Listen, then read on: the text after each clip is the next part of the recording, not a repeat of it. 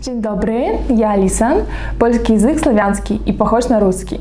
Это означает, что всего через год вы сможете не только путешествовать, но также учиться или работать в Польше.